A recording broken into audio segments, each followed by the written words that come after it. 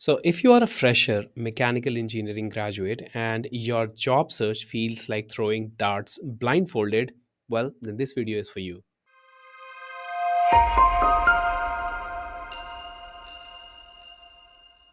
I've collected a no fluff list of essential skills that you need to become job ready. Now, this isn't just fluff from a textbook, it's a mix of my industrial experience and hundreds of real job descriptions that I've combed through for this particular video. But first, let me make this clear you don't need to master everything that I'm about to mention. Think of it like a buffet. Taste broadly, but specialize wisely. You'll need wide knowledge to open more job doors, but in any single role, you'll only master a few of the skills that I'm about to mention here. So let's start with the non negotiable skills first. And the first one in my list is AutoCAD and one 3D parametric software like SolidWorks, CATIA, or Creo. Now, AutoCAD is the universal language of engineering drawing. So you should learn it as your first CAD software. Then pick one 3D tool like SolidWorks, Creo, or CATIA and get seriously good at it. Don't stress over learning all the 3D tools. Once you know one tool deeply, you can easily switch to another because these skills are easily transferable. Now focus on making 3D parts, assemblies, and turning these parts and assemblies into manufacturing ready 2D drawings complete with bill of materials, balloons, tolerances, and the whole deal. So, if you are not sure where to start, check out sourcecad.com for a comprehensive list of AutoCAD, SolidWorks, CATIA, and many other courses. And yes, you can start absolutely for free. Now, the link is in the description of this video. Now, the second non negotiable skill is design for manufacturing or DFM. Now, here's a story that will make you cringe. A fresh mechanical engineer once designed a beautiful part in CAD software that looked like a work of art. Then he took it to machinist and the machinist took one look and said, "Well kid, this would cost more to make than a Rolex and will take twice as long." Well, that's the brutal difference between designing in theory and designing for reality. Learn processes like CNC machining, sheet metal work, injection molding, casting, and 3D printing. Understand when to use which kind of manufacturing process, and based on precision, stress, heat, or cost requirements, you can then modify these parts. We cover all of these DFM or design for manufacturing principles extensively in our DFM series of courses. Once again, it's on sourcecad.com and the link is available in the description. Now, the next one in my list is engineering fundamentals like structural analysis, fluid dynamics, material science, heat transfer, thermodynamics, and machine elements. Now, I'm putting this third in the list because I'm assuming you learned it already in the college, hopefully, while you were awake. If your engineering theory knowledge is hazier than your memory of the last weekend, do a refresher on these fundamental topics. These simply aren't just academic concepts gathering dust. They are your decision making tools for choosing materials, thickness, manufacturing processes, and tolerances for actual part that you will end up making. The next one in my list is shop floor skills like grinding, drilling, sand casting, and welding. Now, ever watched the Undercover Boss series? Learning these skills is kind of like that. The executives who succeed are those who understand what happens on the shop floor, on the ground reality. Learning grinding, drilling, sandcasting, and welding isn't just about becoming the person who will be actually making the part. It's about speaking the same language as the people who will make your designs real. So once you learn these shop floor skills, you'll speak the shop floor's language, understand real world limitations, and avoid embarrassing mistakes like specifying impossible geometries or ridiculous tolerances. Now, let's move to the next non negotiable skill, and that is GD&T or Geometric Dimensioning and Tolerancing. Now, GD&T is the universal language of manufacturing. It's how you tell the manufacturer to make a part exactly like you want, leaving no room for ambiguity in dimensions. So, if you ever skimmed job descriptions for mechanical engineers, you'll see GD&T everywhere. So start with the basics of GD&T as per ASME Y14.5, learn the symbols, datums, feature control frames, then move into tolerances stack-up calculations. Think of tolerances like cooking instructions. Too vague and you get inconsistent results. Too precise and it becomes unnecessarily expensive. Once again, everything that you need to learn about GD&T is available on sourcecad.com.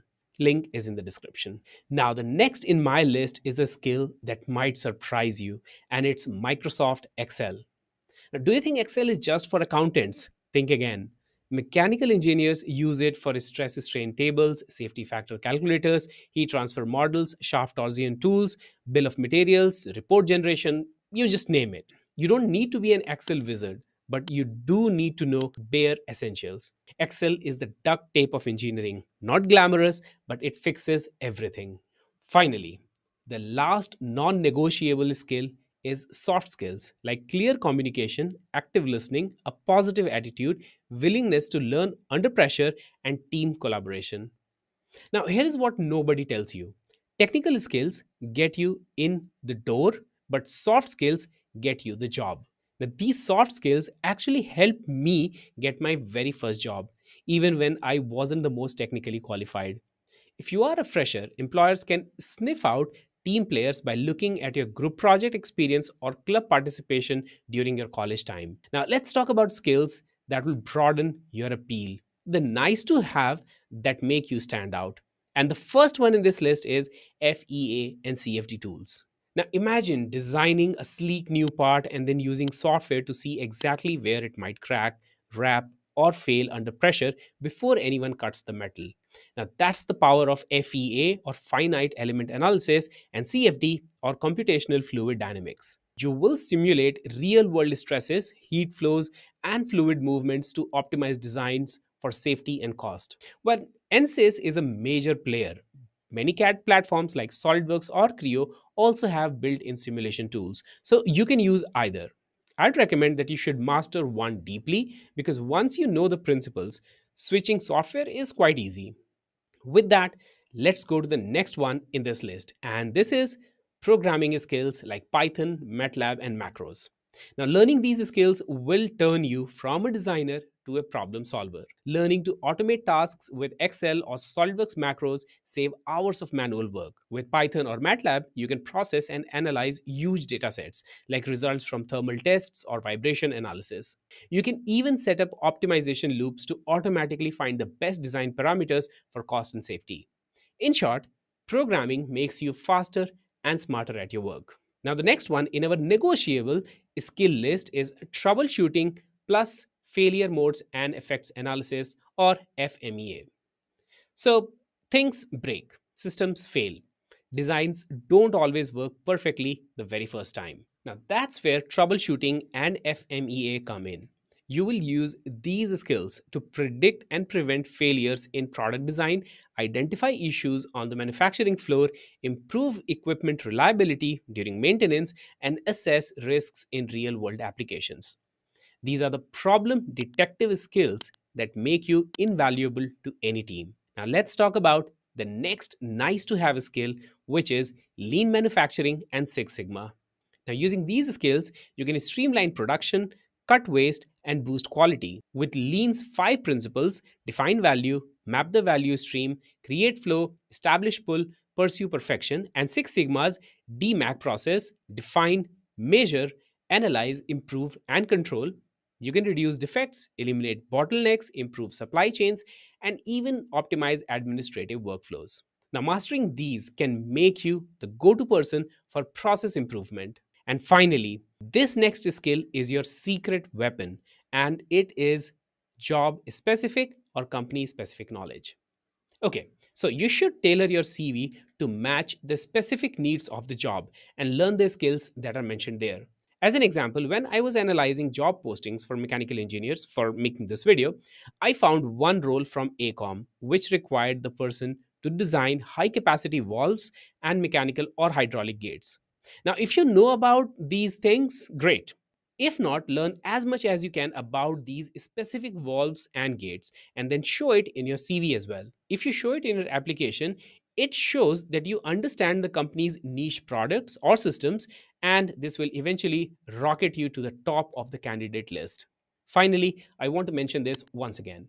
You don't have to be a master of everything that I mentioned here. Focus first on the core non negotiable skills then gradually add specialized ones based on where you want your career to go. So there you have it, your complete roadmap from fresh graduate to job ready mechanical engineer. What skills are you focusing on right now, and what topic should I cover in the next video? Let me know in the comments down below, and I'll see you in the next one.